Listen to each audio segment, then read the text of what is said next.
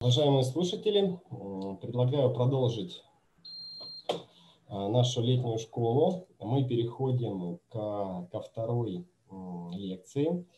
Я попрошу подключиться а, Вадима Алексеевича Крылова. Я уже вас а, анонсировал сегодня.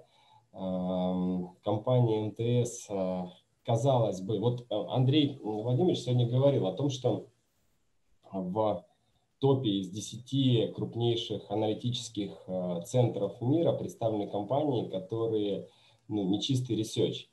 Вот э, Вадим Алексеевич как раз-таки и представляет компанию, которая не чистый research, но обладает э, большими, гигантскими объемами данных, и что нам, социологам, социальным аналитикам особенно важно, что эти данные – они эм, о социальных процессах, о человеке конкретно, о каких-то конкретных социальных группах. И на основе вот этих данных мы можем говорить э, и понимать э, социальные процессы в целом. Вадим Алексеевич, э, я вижу, что вы здесь, но у вас выключена Да, камера. я здесь. Да, Александр, я здесь. Всем добрый день. Сейчас я видео тоже включу, чтобы меня было видно. Угу. Так, да, всем добрый день еще раз. Александр, все правильно заметили, действительно, мы не чистый research, но очень активно смотрим в сторону этого направления. Я думаю, что я в целом расшарю сразу презентацию, чтобы мы по ней прошли, да, да, поскольку материал уже структурирован, чтобы было понимание, да, чтобы мы были на одной волне. Вадим, я, если позволю, немножко о, о регламенте, а, потому что мы вот предыдущую лекцию немножко ну, затянул лектором, действительно была важная информация, информация, не стал прерывать. Но давайте постараемся последние минут 15 э, посвятить вопросам от аудитории. Я думаю, что их будет очень много. Вот, и они не будут не только касаться того, как получить скидку на тариф от э, МТС, а будут, а будут по делу. Поэтому, если можно, Вадим, оставьте там какое-то время для того, чтобы мы пообщались и задавали вам вопросы. Спасибо. Вам слово. Александр, спасибо. Мы, конечно, уложимся в регламент. А, я думаю, что даже быстрее все сделаем, потому что презентация довольно емкая. Постарался ее такой сделать, по крайней мере. Так, а, скажите, видно ли экран? Да, да. видно, Вадим, все в порядке. Так, сейчас я запущу. А, Вадим, еще один вопрос. Ага. Мы ведем запись. Если вы не против, мы запишем ваше выступление. А потом, ага. опять же, если вы согласуете его, мы выложим в YouTube. Опять без вашего согласия не будем выкладывать. Э, хорошо, договорились, мы это обсудим отдельно. Я знал, что вы будете вести запись, в этом есть смысл определенный, точнее, большой mm-hmm. смысл. А, я бы сразу хотел отметить, что а, в МТС есть множество аналитических инструментов. В этой презентации мы не будем, не будем говорить об этом множестве, да? мы расскажем только о том инструменте, с которым я соприкасаюсь лично. Команда довольно большая у нас, которая с этим инструментом работает.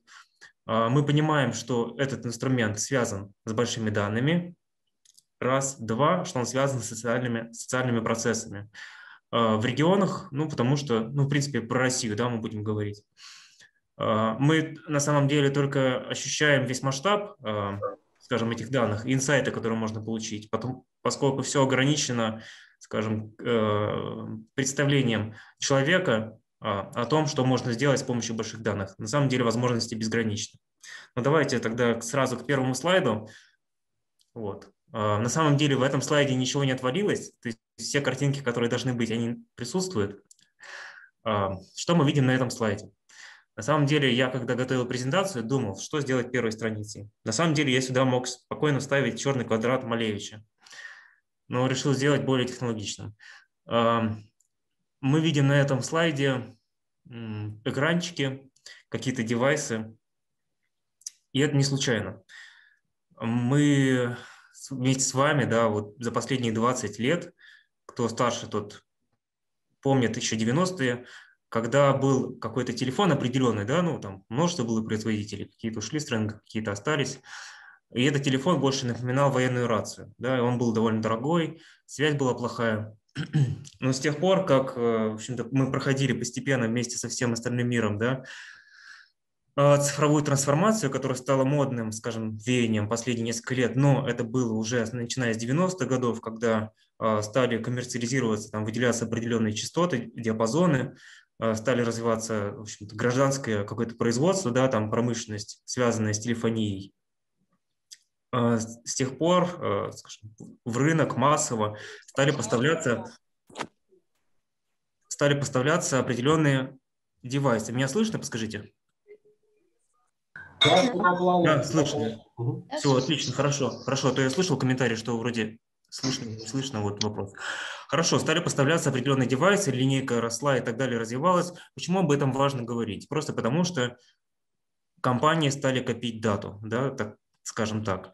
Люди стали потреблять больше информации. Источников информации э, стало гораздо больше. Способов потребления, потребления этой информации стало больше. Способов взаимодействия с окружающим миром стало больше. Все то, что мы видим на экране, вот эти вот, э, скажем так, образцы, э, макеты да, девайсов, это лишь так набросок эм, того, с помощью чего мы взаимодействуем с окружающим миром, откуда получаем информацию, какие поставщики данных получают информацию о нас.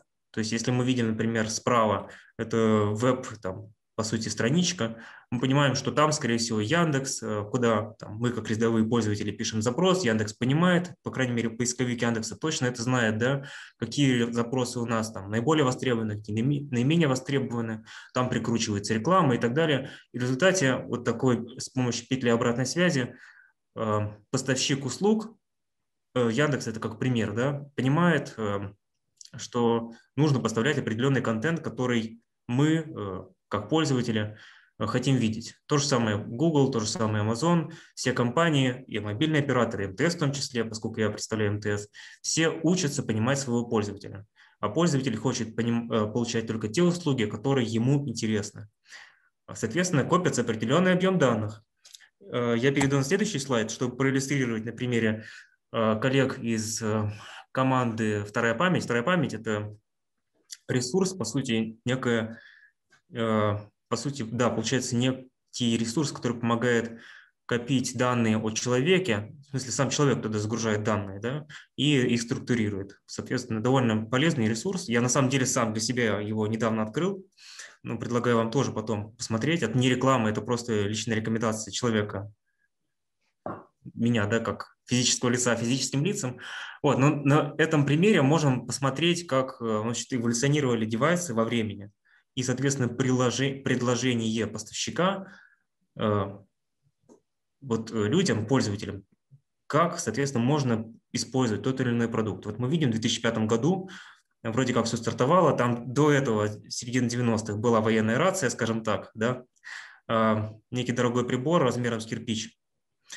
И вплоть до сегодняшнего дня, соответственно, и приборы эволюционировали как девайсы, да, как с помощью чего мы взаимодействуем с окружающим миром, так и контент внутри.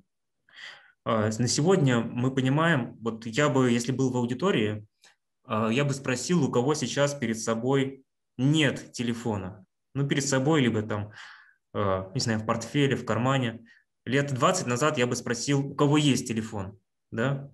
Поднял какое-то количество рук, да, поднялось. Сейчас, скорее всего, у всех есть телефоны, все поднимут руки, что телефоны есть, никто не поднимет руку из тех, у кого нет телефона. Они, телефон есть у всех, короче. И это, получается, единственный довольно популярный и э, недорогой способ взаимодействия с окружающим миром и получения информации из него. И тогда мы переходим к вопросу о том, что такое большие данные. Довольно популярный термин, э, не только там в прошлом, не только в этом году, да, там 10 там, лет назад, связано непосредственно с развитием технологий получения данных, обработки данных и так далее. А с точки зрения МТС, как э, поставщика некой аналитики, вот Александр, о чем вы говорили чуть выше, да, как research, нетрадиционный research, мы понимаем, что э, данные должны быть агрегированы и деперсонализированы, и делаем это, потому что есть два федеральных закона, которые мы не нарушаем, не можем нарушить. И, соответственно, мы соблюдаем все правила, поскольку еще у нас есть э, там, в капитале компании международный капитал, то э, несколько юрисдикций сразу довольно жестких э, и там, связанные с юрисдикциями США, связанными как раз э, с соблюдением тайной связи и прочее, они распространяются на нашу компанию в том числе. Поэтому все данные, которые используются в ресерчах, они как раз агрегированы и деперсонализированы. Но все они основаны так или иначе на активной абонентской базе. То есть все мы потребляем определенный контент, все мы звоним, пишем, нам звонят и пишут. Это такой нон-стоп, э, нон-стоп коммуникация, как мы ее видим сегодня, да. И я бы хотел вот такой мостик перебросить к вопросу о том, что, что же все-таки большие, что же такое большие данные, как это измерить. И я бы начал так обывательски. Да? Все мы знаем, что такое, что такое Excel. А, не все наверняка пробовали загружать какой-то массив данных, просто потому что не приходилось. Да? А, массив данных, который превышает способности Excel. Если я вот сейчас брошу такой вопрос в аудиторию, а, какое количество там, строк максимально способен Excel поглотить одномоментно? Ну, он, конечно, будет очень долго думать, виснуть и там отваливаться, но все равно он способен это сделать. Вот. Я отвечу на этот вопрос сразу. Угу. Это где-то миллион, один миллион пятьдесят тысяч строк. Это максимум. Вот, возьмем любой город-миллионник. У нас, это есть правильный ответ в чате. Так. А какой правильный ответ? Один миллион.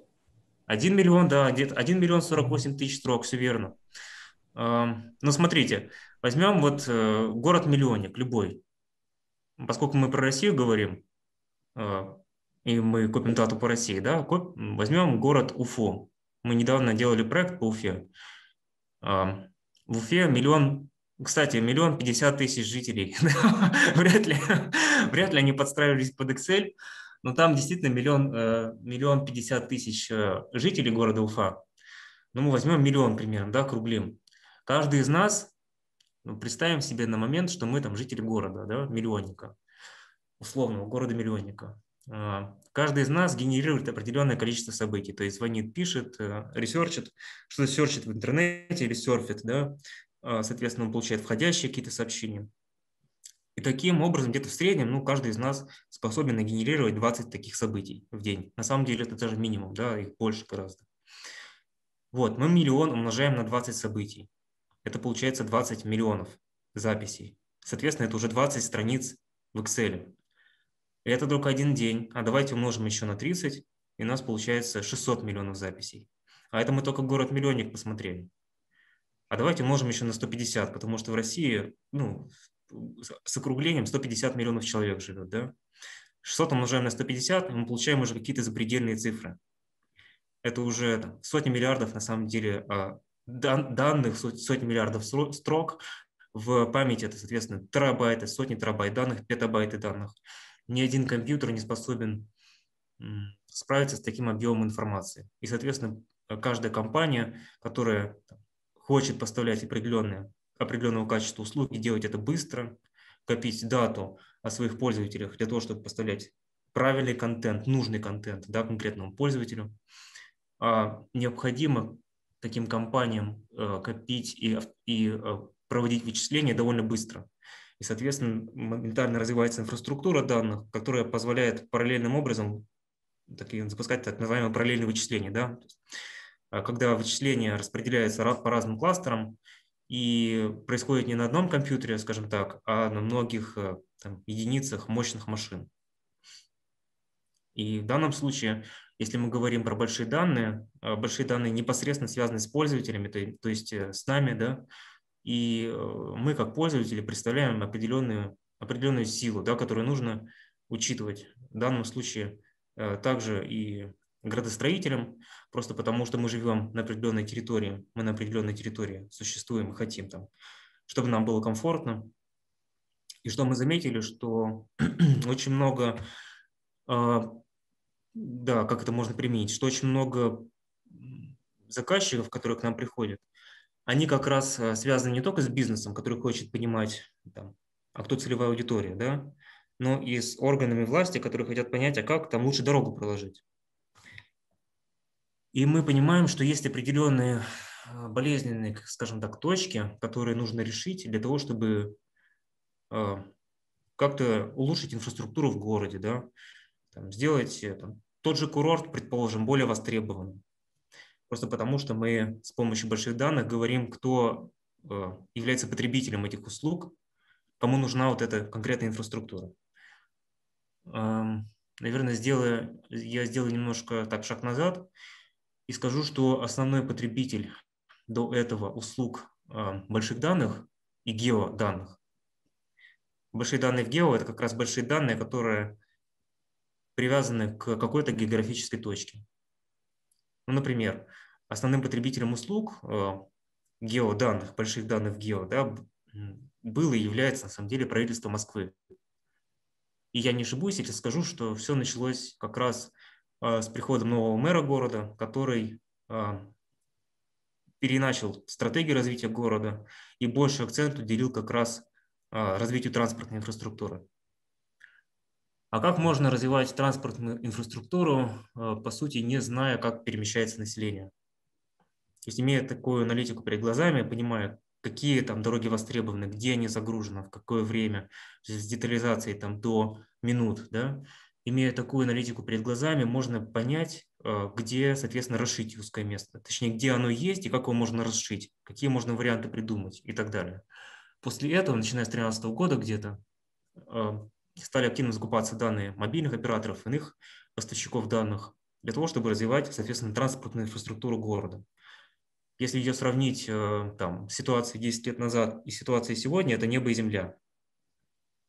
Э, Москва всегда была богатым городом, и я бы не сказал, что там за 10 лет там, это только там, не знаю, прирост ВРП региона там дал такую картину. Нет, на самом деле это сфокусированное развитие там, администрации города на том, чтобы развить инфраструктуру в нужном для жителей русле.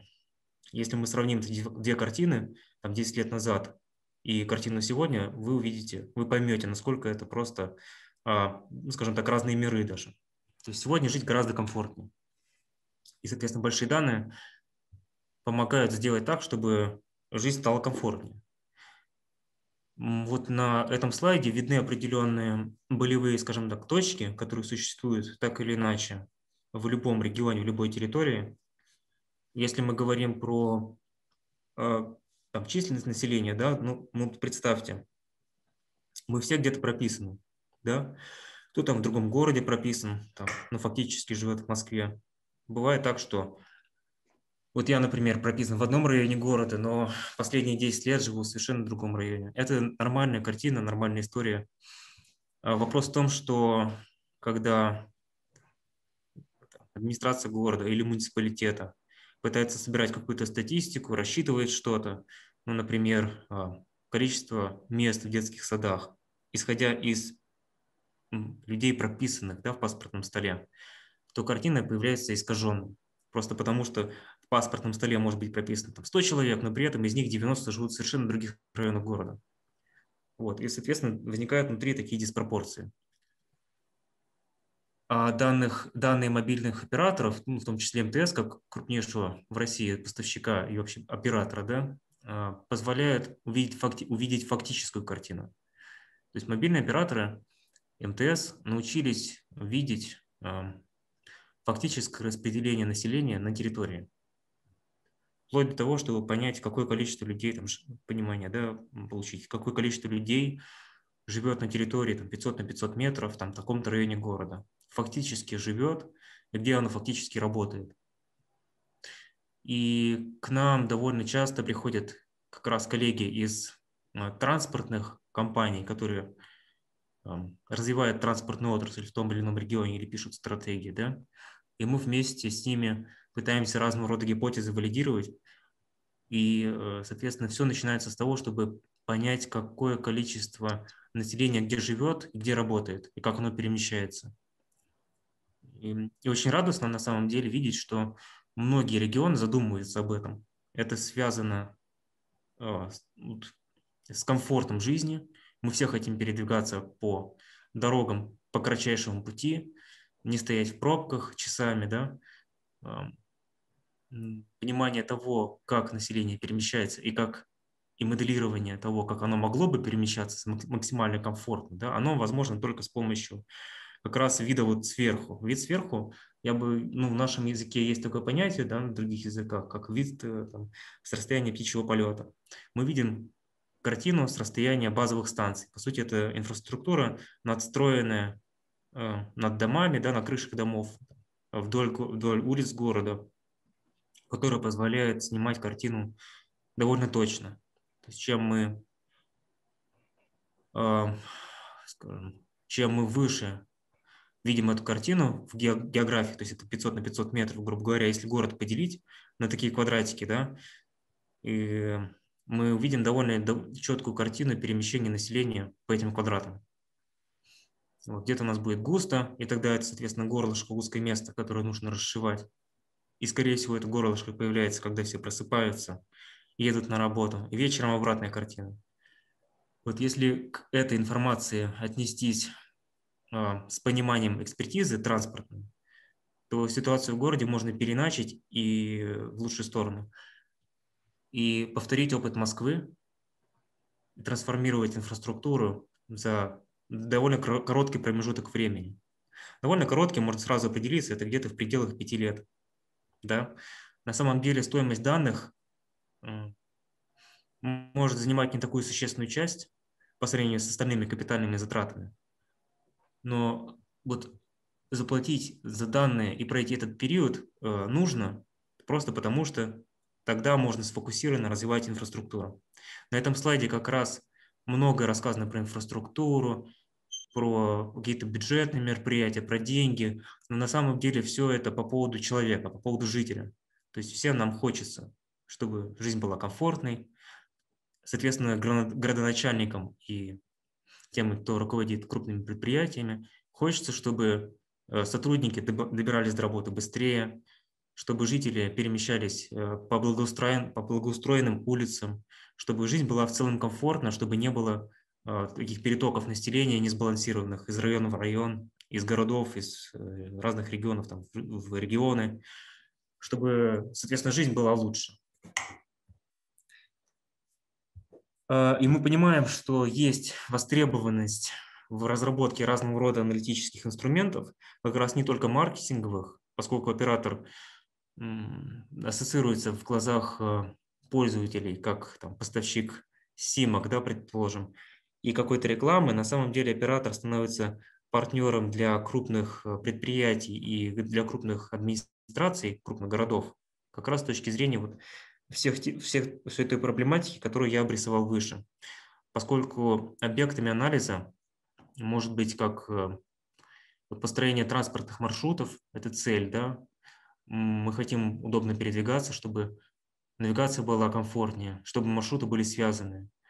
А, довольно часто в курортах, крупных даже, э, хотят видеть более сбалансированный, увидеть, да, какой профиль их посетителей. Есть понимание, что есть, скажем так, Росстат, который собирает с определенным регламентом какую-то информацию. Но есть понимание дыр в этих регламентах, есть понимание того, что это происходит медленно, не так, как хотелось бы. Это не камень в огород Росстата. Все работают настолько, насколько могут, эффективно. Просто есть понимание, что есть другие источники информации, которые могут поставляться гораздо быстрее а, и, соответственно, больше отражать реальность фактическую.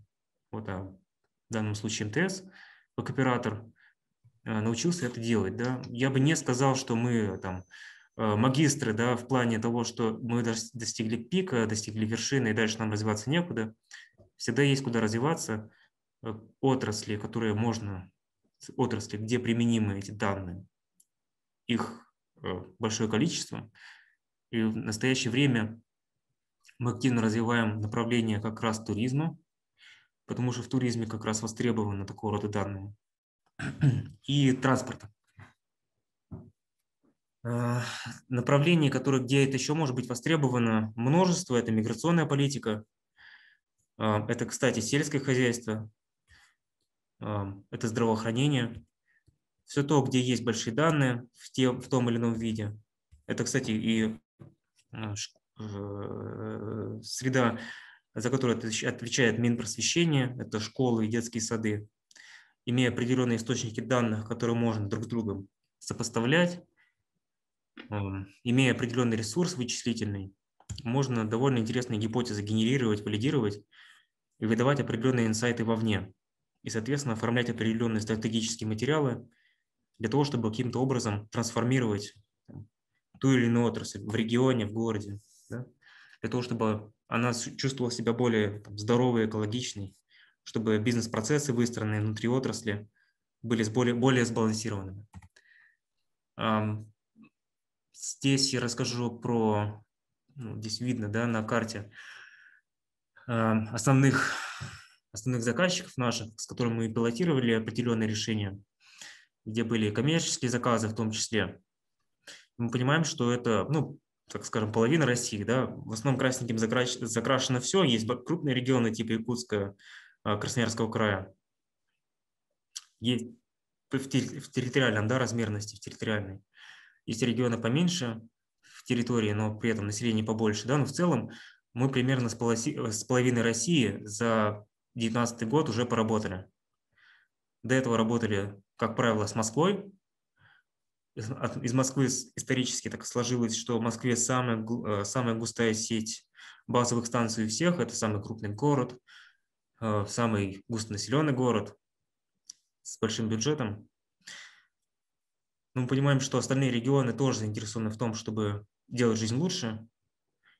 И как раз радостно того, что мы расширяем нашу географию в отрасли геоданных и стараемся трансформировать жизнь в этих городах, в том числе в этих регионах. Здесь я расскажу про небольшой пример, который мы заметили, кстати, совершенно случайно. У нас была гипотеза, э, есть э, Алтайский край как регион, и в Алтайском крае есть э, мертвое озеро, так называемое. Да? Мы все знаем про мертвое озеро в Израиле. Там есть свое мертвое озеро, яровое, которое соответствует вот, по содержанию солей и других элементов мертвому озеру, но оно менее раскрученное, менее популярное, как правило, пользуется спросом только у жителей соседних регионов. В целом это не такой международный курорт, как Мертвое озеро в Израиле, но по сути своей этому курорту соответствует. Ну, так вот, когда мы стали анализировать с точки зрения больших данных и геоданных ситуацию на этом курорте, мы осознали не только сезонность да, и динамику, там, количество посетителей по дням, но и увидели такую картину. Вот а, если мы посмотрим на а, право, да, вот на правую часть этого слайда, то это тепловая карта, так это называется, и густым вот черным цветом помечена максимальная концентрация людей. Квадратики, которые, из которых состоит, да, таких пиксельки, это квадрат 62,5 на 62,5 метра. То есть мы видим, что озеро, в принципе, довольно большое, рядом населенные пункты. Да? Мы понимаем, что вот где черненькие квадратики, то там максимальное, максимальное количество туристов. Мы сейчас смотрим на туристов кто приехал из других регионов ради, в данном случае, оздоровительных целей. Там, где бежевое и так далее, там, где цвет там, приобретает серый оттенок, да, то там, там нет туристов в принципе. Как такая карта типовая строилась? Она строилась на основе данных, которые копились ежесекундно. То есть считайте, что а, то, что черненьким, это максимальная концентрация людей по суммам всех секунд пребывания этих людей в квадратах. То есть там, где население, туристы да, пребывали меньше всего, соответственно, там цвет серый и бежевый. Там, где больше всего в секундах по сумме, там цвет черный. И это сумма всех секунд, в данном случае по одному дню. А дальше мы увидели, что довольно часто проводится такой э, флешмоб на этом озере, Э, когда можно просто лежать звездочкой. И чем больше людей соберется, соответственно, тем больше звездочек мы можем увидеть. Да? А, конечно, они все не носят мобильные телефоны с собой. Скорее всего, они не носят, когда плавают, да, и лежат звездочкой. Но так получилось, что максимальная концентрация людей вдоль берега э, и это э, темное пятно, да, оно позволило нам увидеть максимальную, скажем, концентрацию. Это все совпало с лежанием звездочкой на воде как раз этим флешмобом. Это было, по-моему, 19 июля. А что мы сделали после этого? Мы посмотрели инфраструктуру, которая расположена как раз вдоль озера. И увидели, что на самом деле там практически нет гостиниц. Там э, нет, как правило, таких какой чистой территории свободной для того, чтобы можно было поставить палатку. И когда смотришь эту картину и читаешь, грубо говоря, как пользователь отзывы, Э, в Гугле, то видишь, что люди преодолевают максимальные какие-то препятствия э, для того, чтобы приехать на это озеро. Ну, и по сути, провести такой оздоровительный отпуск, да, и вплоть до того, что селятся в каких-то, снимают какие-то очень плохие, очень плохих условиях какие-то сараи, ставят палатки в огородах среди огурцов, да, и помидоров, и после этого еще идут там три километра с детьми до озера. Ситуация патовая, но она, э, несмотря на все вот эти недостатки, говорит нам о чем? О том, что люди преодолевают все эти препятствия, едут массово на это озеро, и этот поток довольно стабилен. Это говорит о том, что люди хотят сюда приезжать, несмотря ни на что. Представьте картину, когда э, тот, кто отвечает за эту территорию, сможет создать инфраструктуру, которая позволит людям приезжать, отдыхать э, качественно. Да? Все равно любой отпуск э, требует определенных вложений, инвестиций. И хочется если вы согласитесь, ну, вы согласитесь со мной здесь точно, в России это особенно актуально, хочется платить рубль, да, какую-то денежку и получать в итоге тот сервис, на который рассчитываешь. Довольно часто бывает, почему а, у нас многие уезжают как раз там в другие страны, типа Греции, Турции, Кипра, потому что есть а, понимание, что ты платишь определенную э, там, денежку, да, и в результате получаешь тот сервис, на который рассчитываешь, или даже чуть больше. Вот. Э, у нас в России, на мой взгляд, потому что я тоже там, в России путешествовал как пользователь, не буду выражаться там, да, это не мнение компании, это мнение человека как туриста, мое личное, что в России довольно часто путешествуешь и получаешь э, сервис, который не соответствует э, рублю вложенному да, в этот сервис, мной как пользователем. И поэтому часто такие поездки, они одномоментные, и, например, мы, там, жители, там, предположим, Центральной России, да, э, не только москвичи, но там жители Санкт-Петербурга, Ленинградской области, редко можем себе позволить поехать на озеро Яровое, заплатить определенные деньги, да, получить тот сервис, там, на который не рассчитывали, или там, в Якутии, предположим, да, поскольку один, один, этот билет в одну сторону стоит на одного 40 тысяч рублей, получаем сервис, на который мы не рассчитывали – мы обжигаемся и э, стараемся такой опыт больше не повторять. Вот, а представьте, что э, операторы на этих территориях могут, зная вот эту информацию о, о, о распределении населения, о туристах, как туристы посещают те или иные локации, смогут какие-то узкие места расшить, оптимизировать инфраструктуру, вложить какой-то рубль, да, сделать э, жизнь на этой территории комфортнее, как и для жителей, так и для туристов. Таким образом, мы можем э, внутри нашей страны да, создавать определенные точки роста. Вот почему туризм интересен как направление? Туризм – это не просто а, про отдых, да, хотя это важная часть туризма.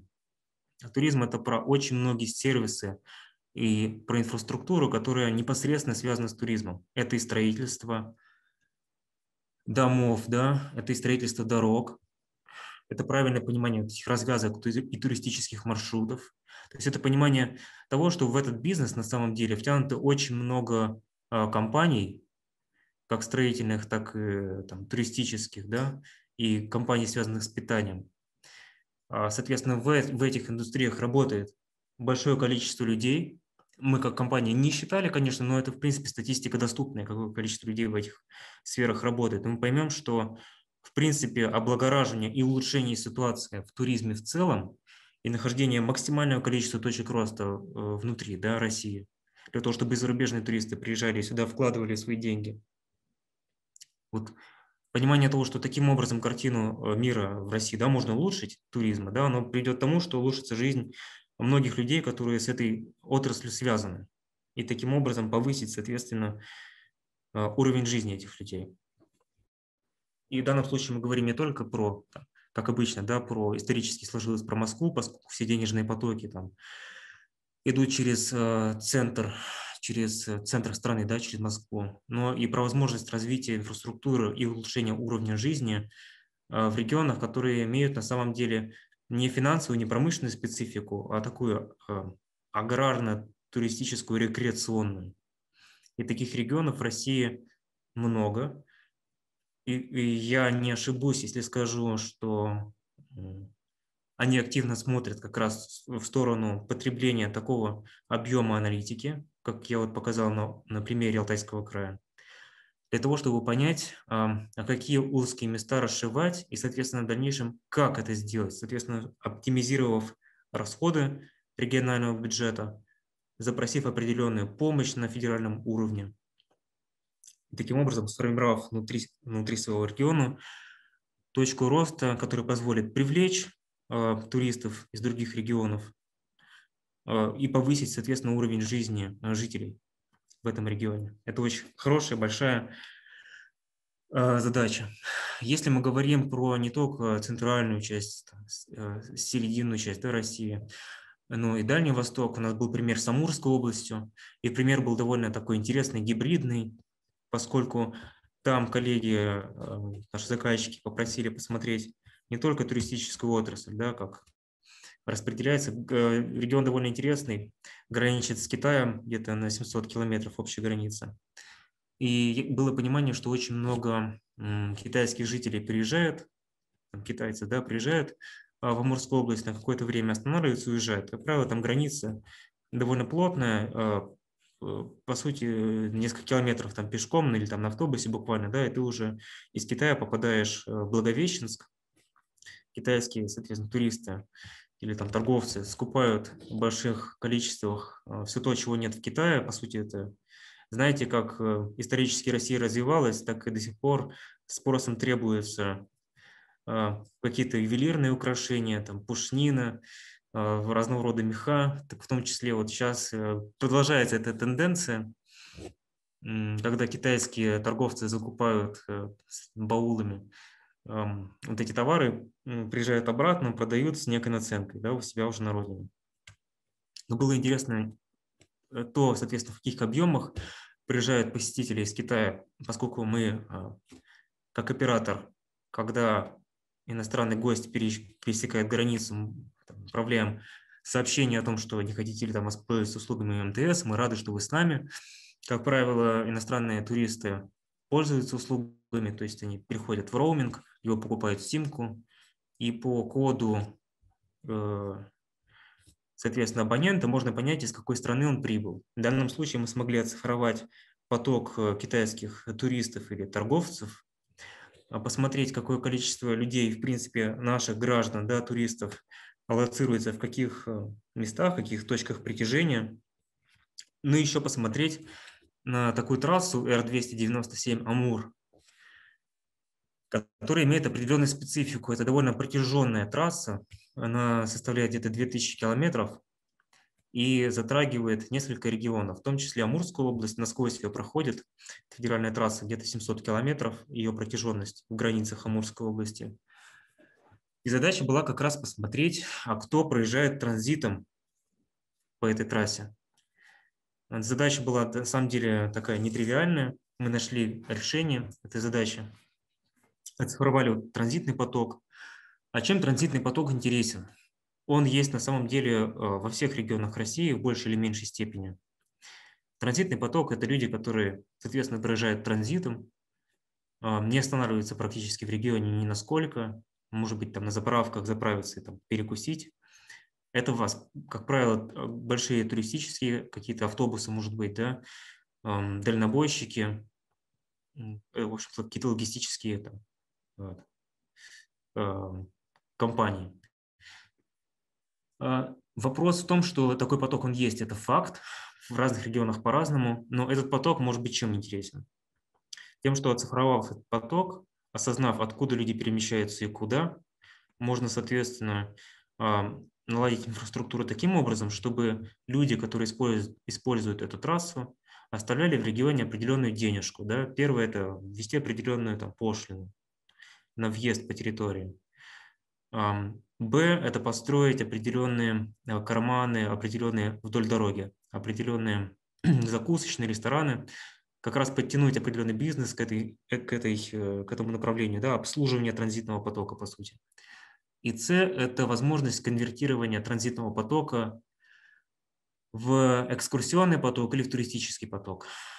Мы понимаем, что например, каждую там сотого да, человека там, процент, 2-3 процента от транзита можно конвертировать в туристический поток целевой. Один раз напомнив о том, что заезжаете в Благовещенск, грубо говоря, тут есть что посмотреть и прочее, прочее. Один раз проедешь по трассе, там, обратишь внимание, в следующий раз, может быть, даже и заедешь да, в Благовещенск, там, сделаешь небольшой крюк и оставишь в экономике города определенную денежку. Довольно хорошая задача, довольно интересная. То есть транзитный поток, его тоже нужно оцифровывать, он существует. Наряду с э, маятниковой рабочей миграцией, а, вахтовой службой и прочее, кстати, в Амурской области тоже довольно развита вахтовая служба. Понимание того, э, как э, разные сегменты населения существуют, как живут, где работают, в том числе вот, транзитный поток, вахтовый, маятниковая рабочая миграция. Это все очень важно для выстраивания правильных процессов между регионами, внутри регионов э, и так далее. Э, кстати, вот на этом слайде я бы хотел бы э, рассказать о том, что есть, как вы знаете, да, Ярославская область, Ярославская область входит в Золотое кольцо России, так называемое, и есть там, статистика Росстата, есть статистика мобильного оператора МТС. И Росстат, знаете, как собирает картину о туристах, информацию о туристах? Это, как правило, данные гостиниц. То есть гостиница говорит, что там вот такой-то момент времени, такой-то день, такой-то месяц, заехало такое-то количество туристов. Но при этом, конечно, скорее всего, не спрашивается информация возраста, пола, дохода, там, откуда приехали, с какой цели приехали, надолго ли приехали. То есть вся эта информация гостиница не располагает, Росстат, соответственно, тоже. И довольно часто, я уже не говорю о том, что есть такие сервисы, как Airbnb, где люди останавливаются минуя гостиницы, частные апартаменты, да. А в последнее время развит экотуризм, когда люди не останавливаются нигде, кроме как в палатках. А, вот. И такого количества, такого плана туристы, они не засвечиваются.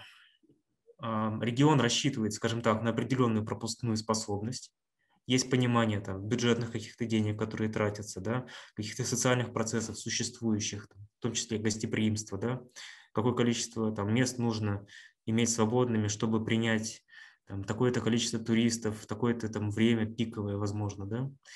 И мы понимаем, что вся эта картина, она может рушиться просто потому, что фактически э, те, кто, э, те, кто отвечают за те или иные мероприятия в регионе, они фактическую картину-то и не видят. То есть они видят некий, некий срез, некую, некую однобокую статистику, которую может предоставить Росстат. Ну, просто потому, что таким образом данные собираются. Иного образа не придумано.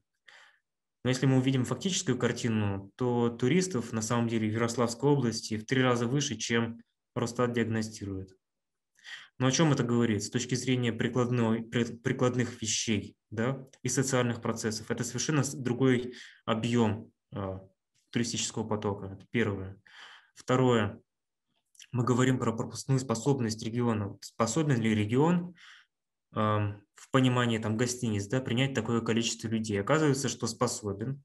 Они каким-то образом находят э, места, где могут расселиться – Вполне возможно, что делают это не всегда экологично там, для региона, оставляют после себя определенный след экологический.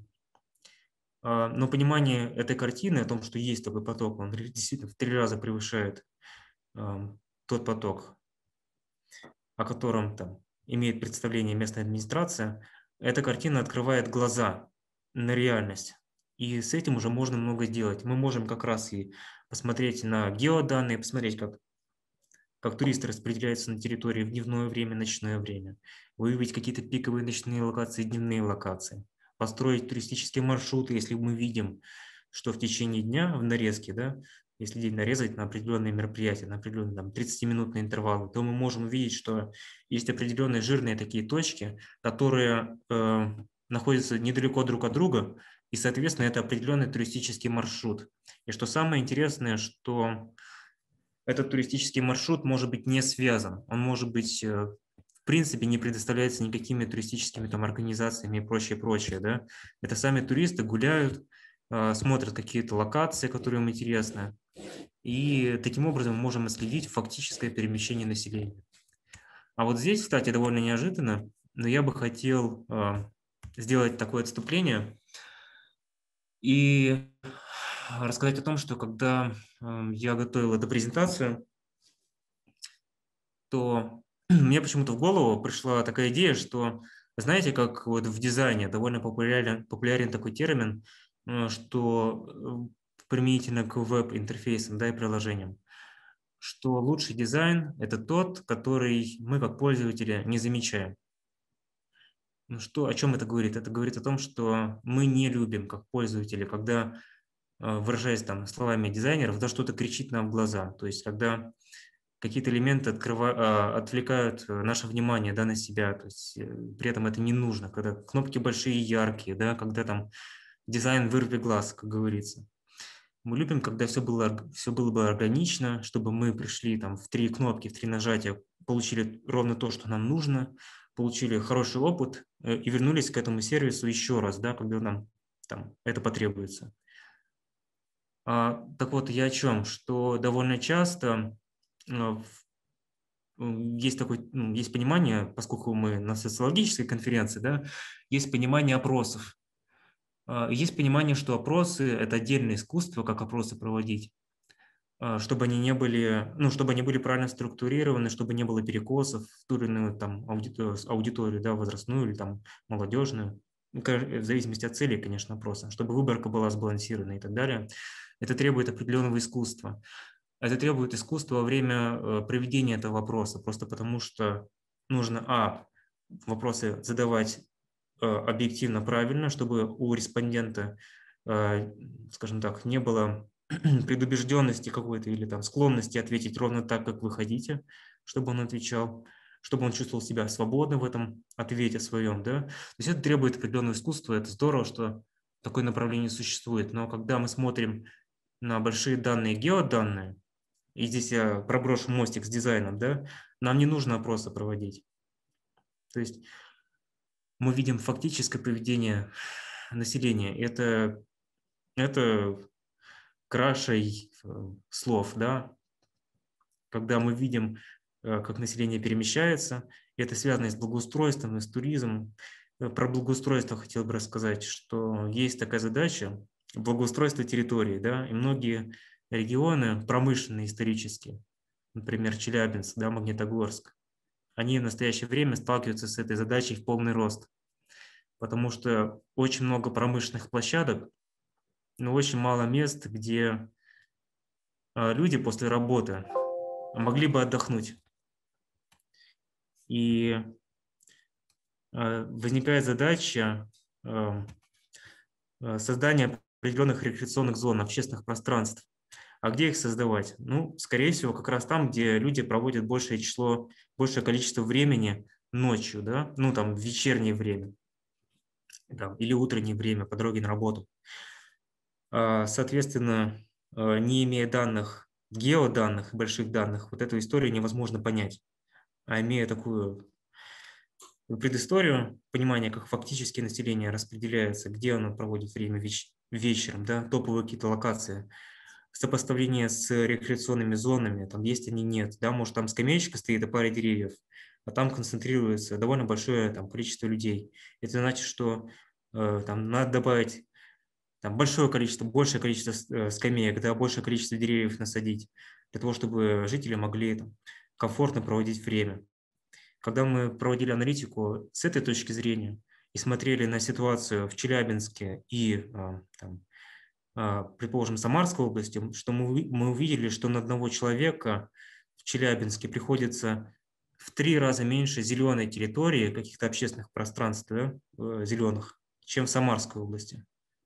На самом деле наличие таких зеленых зон э, напрямую связано с ощущением там, э, достаточности, да, да, с уровнем жизни, то есть желанием оставаться на этой территории, с комфортом жизни. То есть, имея такие такое понимание, где территорию развивать с точки зрения благоустройства, да, на основе больших данных, не проводя на самом деле социологические опросы.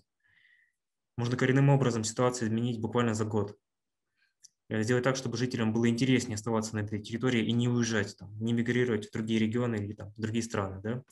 Коллеги, я заметил, что у меня э, сейчас э, не время закончится, а батарея на аккумуляторе, да, батарея скоро сядет. Я, наверное, в какой-то момент переподключусь, а, скорее всего, на ответ на вопросы. Дальше я бы хотел пробежаться по небольшим, если да, позволите, там буквально на 5 минут мы пройдемся. Да, да, да. Дальше я бы хотел рассказать про некую аналитику, которую мы делаем. Это больше такая писательная статистика, некие дэшборды, да, так называемые, когда мы э, синтезируем информацию на одном слайде и показываем нашим там, заказчикам, клиентам, с которыми мы, мы работаем, а, например, какой поток туристов, поскольку про туризм говорим, это такая довольно динамичная, кстати, очень динамично цифровизируемая отрасль. А, не случайно о ней очень много не случайно ей очень много посвящено там, в этой презентации места, да. Вот э, в данном случае это пример города, э, даже не города, а небольшой территории, Свияжск. Это древняя такая, не древняя, я бы сказал, средневековая крепость, которую построил Иван Грозный перед завоеванием Казани с третьего раза, да, когда завоевывал, именно вот э, Свияжск он построил, такой некий перевалочный пункт на сегодняшний момент одна из топовых территорий э, Казани, которая привлекает большое количество туристов. И, соответственно, э, нас попросили оцифровать этот туристический поток и понять сезонность его, когда максимальные пиковые там, э, приезды туристов, кто приезжает, какое распределение возраста, пола, доходов, чем они интересуются и так далее. То есть, когда понимаешь вот на одном слайде, грубо говоря, такую информацию, то можешь совершенно по-другому взглянуть на эту локацию, на эту территорию, придумать какое-то количество сервисов, которое будет востребовано у этой аудитории, и уже привлечь, соответственно, еще большее количество людей, которым интересно сюда приезжать. Есть и другие примеры. Здесь э, э, Чеченская республика, когда мы увидели огромный поток транзитный, который проходит по территории. То есть, по сути, где-то 900 тысяч человек проехала с августа 19 по февраль 20 Чеченскую республику. Из них э, там, туристический поток – это некий фрагмент, да, там это 5-10% от силы. В основном это транзит, который проходит из соседних регионов в другой регион, да, там, из Дагестана, да, в основном.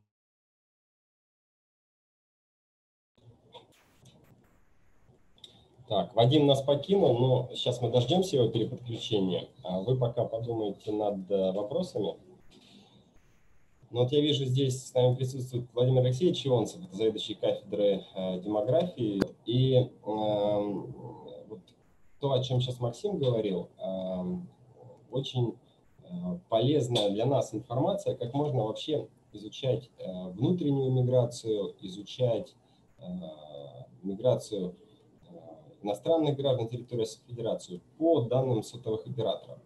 Вот э, я даже, наверное, раскрою небольшой инсайт. Мы уже встречались э, с коллегами из МТС и обсуждали вообще возможное взаимодействие, как здесь мы можем подключиться именно с нашими миграционными компетенциями, с логическими компетенциями, что можно здесь сделать. То есть пер, первый шаг вот такой коллаборации, то это довольно перспективное направление, и нам здесь надо подключаться – Э, по крайней мере, заниматься каким-то коллаборатом, общаться, приглашать вот э, сотрудников, специалистов из МТС для, и не только МТС, вот компаний телекоммуникационных, э, чтобы обмениваться, во-первых, опытом, а во-вторых, получать от них самое главное для нас данные о количестве, о социальном составе, об уровне доходов, например, трудовых мигрантов.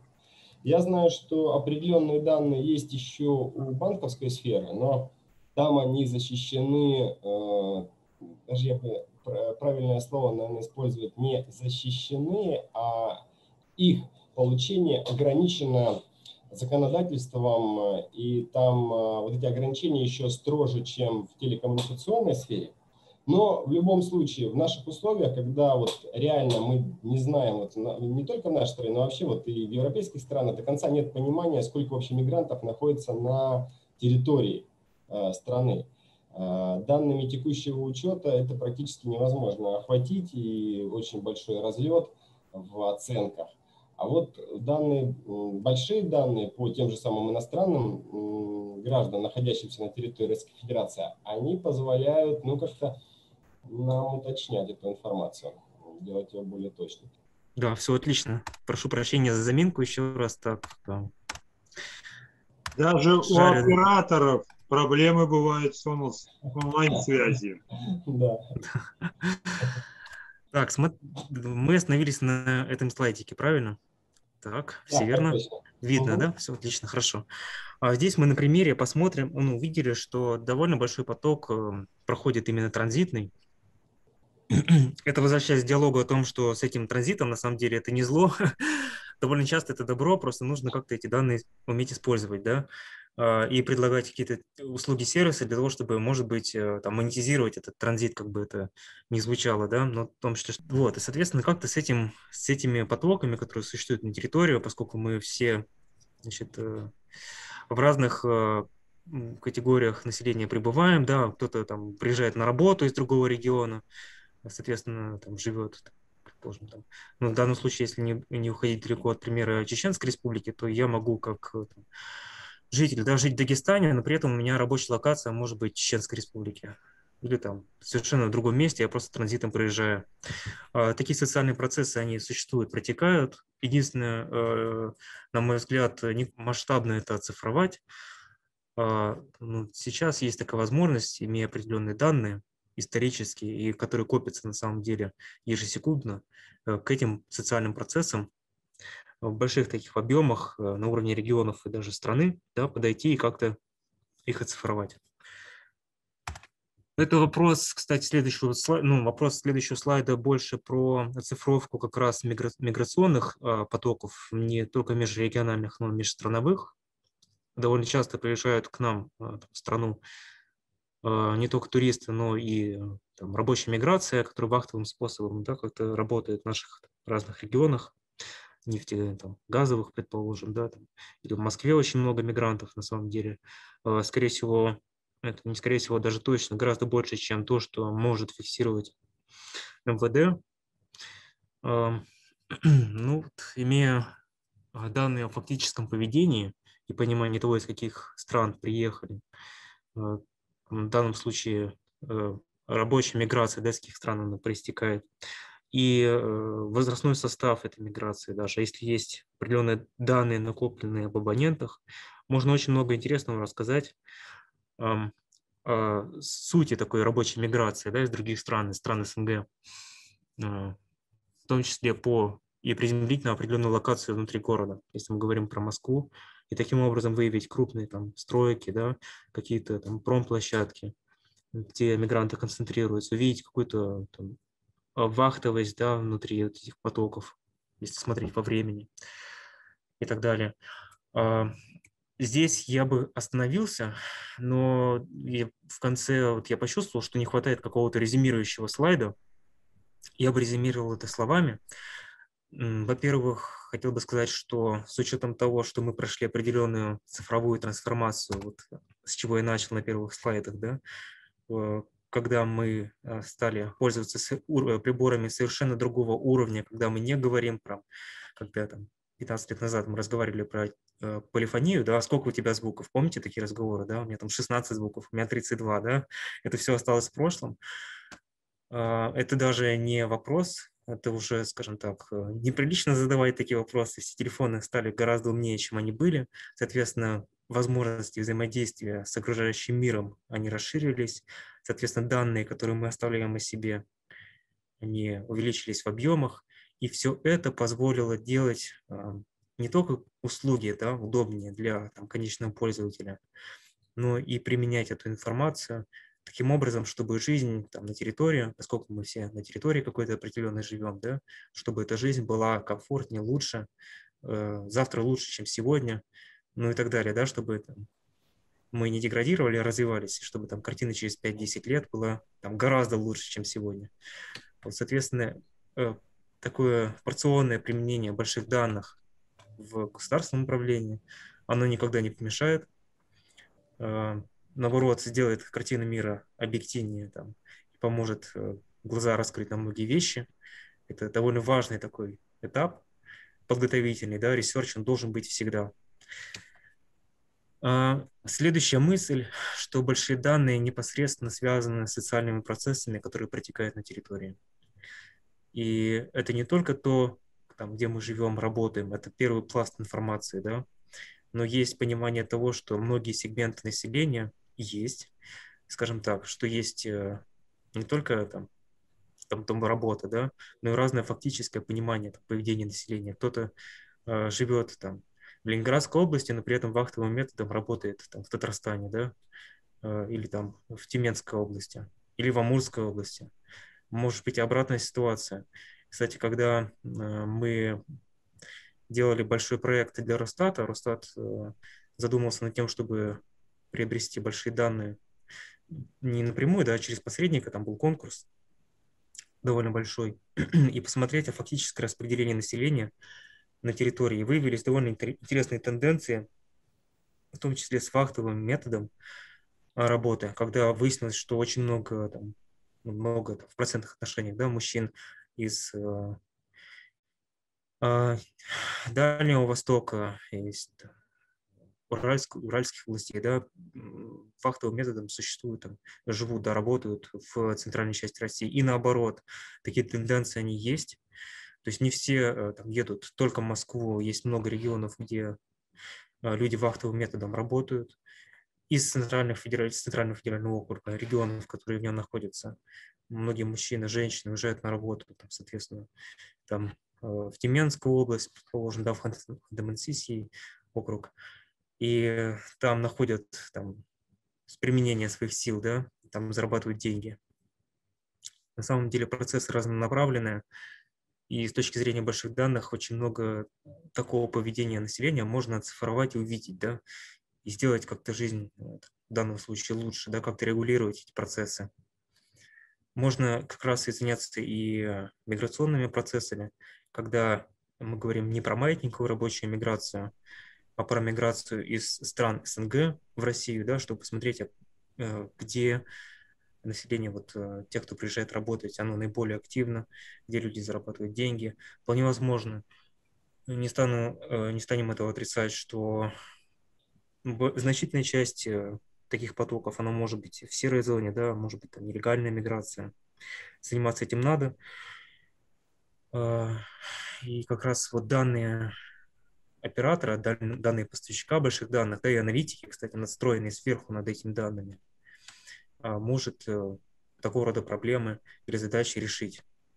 Вот это, а, кстати, применительно, кстати, к нашей теме разговора, можно сразу сказать, что в будущем, вот это сто процентов, будут востребованы специалисты, которые умеют, имеют экспертизу с точки зрения социологии, да, и специалисты в то же время, да, имеющие опыт анализа больших данных. То есть это некий социолог big э, data, да, который может анализировать процессы межрегиональные или внутрирегиональные с применением алгоритмов там, анализа больших данных, имея вот эту экспертизу именно базовую, да, как социолога.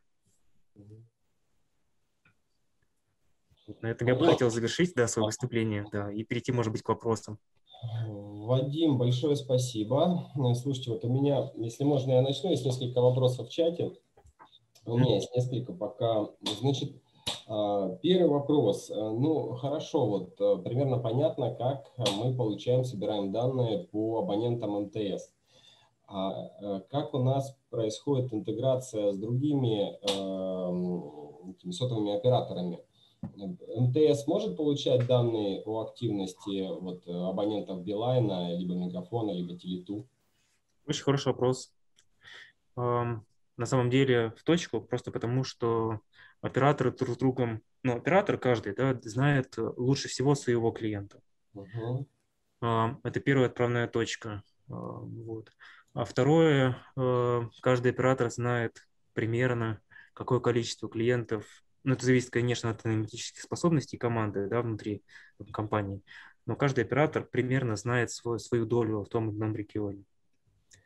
Вот, и отстройка идет как раз от этого. Угу. А, а, следующий момент э, агрегировать данные. Здесь уже, если мы говорим про другие данные, да, друг, данные других операторов, здесь возникает вопрос агрегации этих данных. Поскольку все существует во времени и пространстве, вот агрегация этих данных – это отдельное искусство, связанное с тем, что чтобы не задублировать людей, да, не размножить их в, во времени там, и в пространстве. Проблема двойного счета. Конечно, конечно. А почему это связано? Просто потому, что у нас есть девайсы, вот я вернусь к третьему слайду, там 17 год, последний, да, на этом слайде был.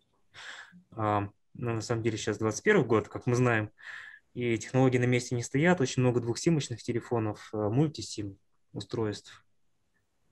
И мы проводили внутренние исследования и понимаем, что э, процент таких телефонов это где-то 40% по абонентской базе. Это двухсимочные телефоны. Вы представьте себе картину, когда а, мы как оператор, да, МТС, знаем, что у нас есть 40% абонентов с, двух сим, с двумя симками, и что там какое-то количество из них э, там, используют симку другого оператора. Соответственно, другой оператор знает, что вот у него там тоже какое-то количество абонентов с устройствами, которые поддерживают там две симки, при этом из них там такое-то количество а, с симками там, этого оператора, да, и возникает вопрос, а как вот одно с другим сметчить, да, чтобы не было дублирования людей. Одно дело задублировать там, в табличке какой-то людей, да? снова тролль зашел. Маша, отключите, пожалуйста, этого товарища. Да что ж такое? Да, хорошо, я его ищу. Ну, тролль, кстати, рисует э, декартовое соединение. я, по крайней мере, понял, что, наверное, к этому идет. Э, когда кружки друг с другом пересекаются, да, и образуют некую форму. Это опять же, почему да, нельзя складывать э, количество сим-карт? Вот очень хорошая иллюстрация, почему нельзя складывать количество э, сим-карт, потому что это на самом деле две совокупности во многом на там, 90% пересекающиеся. Угу, угу. Вот, а теперь представьте э, ситуацию, когда мы анализируем э, картину во времени, да, что мы можем во времени раздублировать людей, мы можем в пространстве раздублировать людей. Э, вот, когда там все двухсимочники решат вдруг посетить какую-то конкретную локацию, сидеть недолго. Вот, а вдруг потом вместе перетечь, да, куда-то. А в какой-то локации их может быть гораздо меньше. Ну вот, я просто тролля сложно не заметить, когда он рисует на экране. Ну, в принципе, да, он был прав. Не только так он видит эту картину, но складывать э, там простым перемножением людей это будет неправильно, просто потому что есть технологии, которые там, не только двухсимочные там девайсы, да, но и мультисим, когда можно вплоть до 20 симок на одной иметь, да, там, по сути, 20 номеров, да. Вот, такого рода э, технологии нужно уметь отфильтровывать. Я не говорю даже о том, что есть э, такое понятие, как IOT, да, когда, ну, это интернет вещей, и есть понятие телеметрии определенное, которое существует на территории. То есть, по сути, это устройство, умные устройства, да, которые посылают сигналы, как взаимодействуют с окружающим миром. Те же там, не знаю, светофоры, да, там светильники умные какие-нибудь, э, там шлагбаумы, чайники, умные холодильники – вот эта вся технология, которая развивается, все умные девайсы, они тоже существуют, они тоже посылают там сигналы в сеть, да, они довольно активны, и с течением времени они будут все умнее и умнее. К слову, там о там, ML, AI, да, искусственном интеллекте и прочее. Есть такое понятие межмашинного взаимодействия, взаимодействие человек-машина. То есть мы не только друг с другом взаимодействуем, мы взаимодействуем с девайсами, с устройствами. Пример шлагбаума, да? Э, шлагбаумы взаимодействуют с шлагбаумами. Шлагбаум взаимодействует с машиной, которая заезжает, да, на территорию, там считывает, там датчик, да, открывается, там шлагбаум поднимается, да, там закрывается. Вот все это нужно уметь отфильтровывать понимать, что там, предположим, нет человека, это не человек открывает, открывает шлагбаум, это он открывается сам по себе, поскольку датчики видят друг друга, да, там, взаимодействуют друг с другом. То есть поним... вот это все понимание, оно необходимо для того, чтобы выйти на конечного там, абонента, да, на конечного жителя и понять, а вот как э, там, человек взаимодействует с окружающим миром, какие социальные процессы здесь существуют. Вот, вот задача выйти на конечного абонента – она Один как раз вопрос, очень важна. Сразу в продолжение вопрос вот э, в чате э, спрашивают, а в реальности вот уровень дохода, насколько реально через ваши данные получить?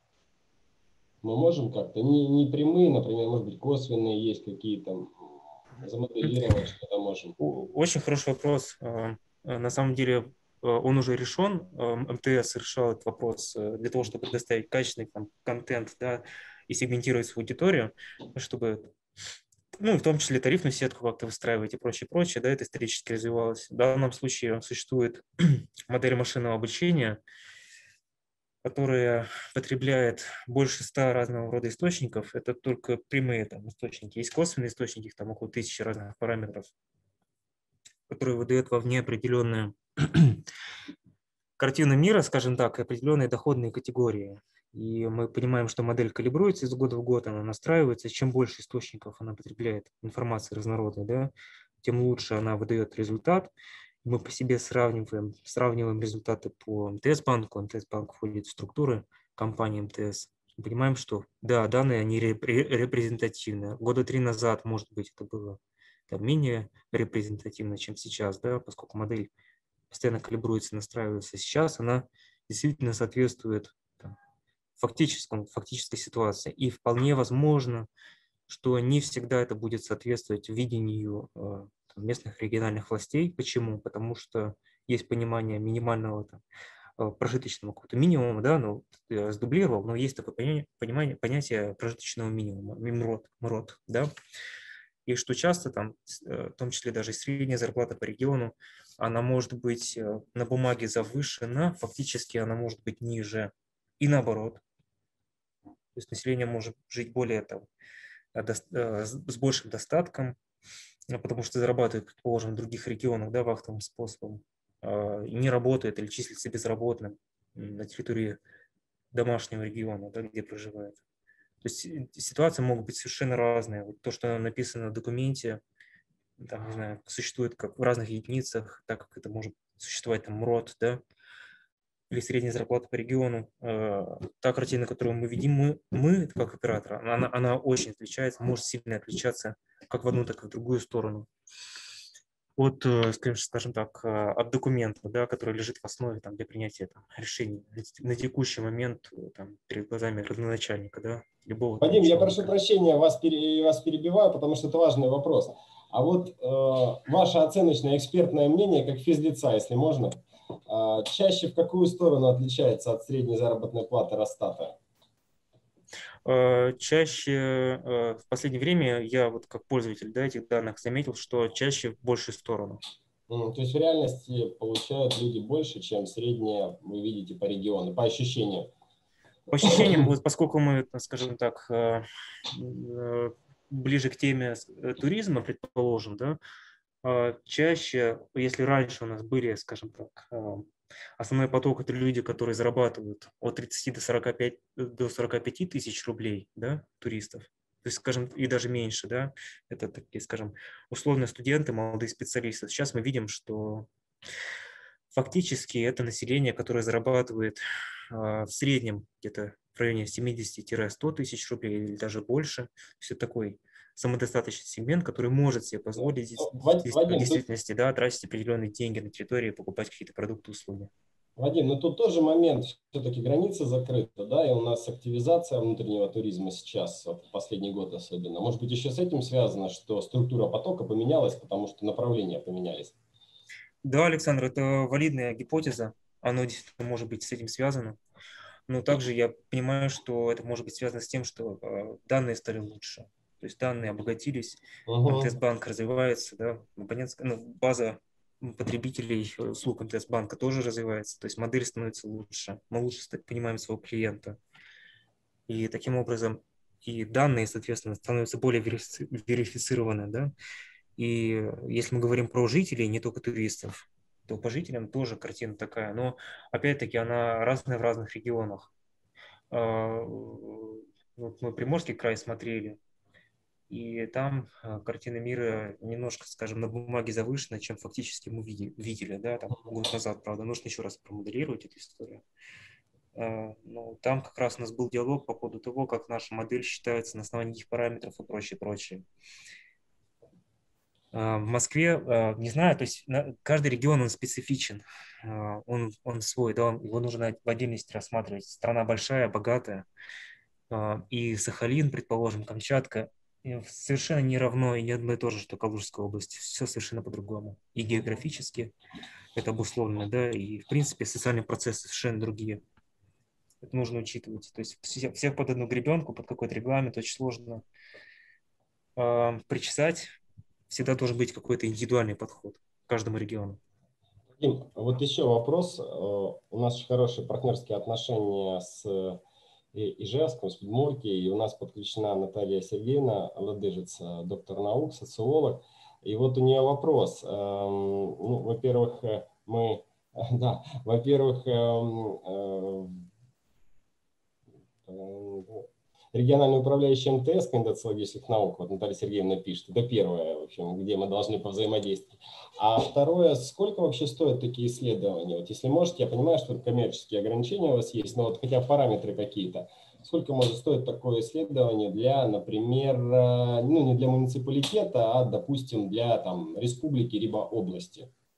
Угу. А, ну, Александр, хороший вопрос, да, но я начну с того, что разного рода исследования бывают, ну, по объему, да, кто-то говорит, вы знаете, мне достаточно двух цифр, чтобы отвалидировать какие-то свои гипотезы. Вот, но чтобы эти две цифры собрать, конечно, нужно иметь какую-то, ну, предысторию, да, даже если мы говорим об агрегате в, двух, в две цифры, они могут стоить там несколько миллионов рублей. А, гораздо интереснее, когда регион к нам приходит и говорит, вы знаете, у меня есть определенные гипотезы, который я хочу провалидировать, как это можно сделать. И мы, соответственно, выясняем, проводим определенные исследования совместные, да, там вырабатываем тех требования. И, в принципе, ценник в среднем да, может составлять примерно 3-5 миллионов рублей для региона. А есть регионы, все зависит от все зависит, да, а, все зависит от того, какое количество людей проживает на территории, какое количество базовых станций размещено. То есть чем регион больше, чем больше людей и процессов протекает внутри региона, тем, соответственно, больше нагрузка на мощности, там, кластерные, да, и там, вычислительные, тем, соответственно, ценник э, выходит больше для конкретного там, потребителя, да. Но главное, чтобы, э, мы всегда говорим, главное, чтобы эффект был, э, чтобы эти данные действительно были востребованы, чтобы какие-то решения принимались на основе этих данных. А, мы видим в последнее время большой рост вот, этих, вот этого спроса, да, кто-то пытается данные пощупать, понять, а, как с этим вообще в принципе пользоваться, да, это я в виду про региональные власти разного рода регионов. А кто-то сразу приходит с пониманием уже выверенным, четким, вы знаете, там нужно вот это, вот это, вот это и вот это. Почему? Потому что мы знаем, как эти данные использовать и, приходит, и соответственно, валидирует свои стратегии развития да, а, региона. То есть э, клиенты разные. Но хорошо, что э, глаза в сторону больших данных открываются, и все понимают, что это э, тот источник, мимо которого пройти, ну, тот инструмент, да, мимо которого пройти сегодня нельзя. Использовать этот ресурс надо. Вадим, спасибо большое. Я помню, что вам в 13.00 нужно завершить. А, опять же, если, если вы позволите, то э, либо я, либо, если можно, вы сами напишите в чат какой-нибудь mail для связи. Возможно, у ребят появятся еще вопросы, и если вам будет несложно, то, если, опять же, позволит вам время и так далее, ответьте, либо, может быть, мы еще раз соберемся, если их будет действительно много, и мы поймем, что такая встреча нужна, может быть, мы еще раз соберемся в какое-то время в таком формате. Да, а, конечно. Угу. Э, конечно, я э, оставлю свой mail, наверное, вам, да, или могу сейчас написать. Как да, лучше. если можно в чат напишите тогда, да. Давайте, вот. давайте, да. И будем на связи, конечно, если необходимо будет, и отдельные встречи проведем еще раз. Надеюсь, что тема живая, она откликнулась э, внутри многих. Ну, во-первых, она очень, ну, живая, да, она очень актуальная, потому что мы вот и в предыдущей э, лекции слушали очень много о больших данных, а вы непосредственно человек, который занимается большими данными, аналитикой больших данных, поэтому понимаем, что за этим будущее, очень много вызовов сейчас очень много в этой тематике, а, поскольку, ну, мы в начале пути, и э, там перспектив очень много для роста.